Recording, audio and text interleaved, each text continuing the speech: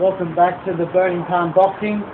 The uh, the next uh, step in- in learning the fighting stance is uh, the three-point centerline theory, which is the toe, knee, and the nose is in line.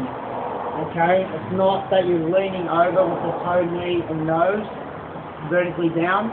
Okay, that's the wrong idea about it. It's on your toes. Uh, I mean, you're centered, your nose, your knee and your toe are in line and you're moving around at all times and you're keeping your center with that other person's center with the by keeping all those lines uh, in line.